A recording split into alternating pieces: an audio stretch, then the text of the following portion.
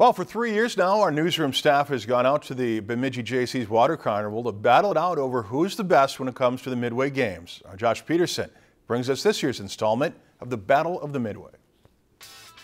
It's down to two in the newsroom in the annual competition of news versus sports in the third edition of the Battle of the Midway. We kick off by shooting some hoops.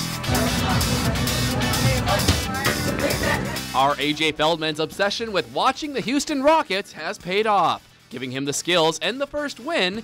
Next up, we head to the darts. Oh! Sherelle Moore is no match for the sports director's fancy legwork when it comes to throwing darts. AJ walks away with the win, leading the competition to zip. Sherelle needs to win the next fire truck race to stay in the competition.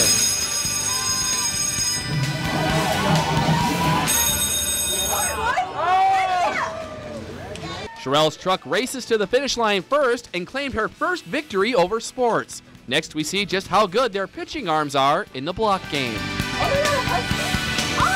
Moore is back for more with another win, knocking over more blocks on the platform than AJ. Bringing us a tied game. To settle this match, we head to the duck pond to see who will be the king or queen of the carnival.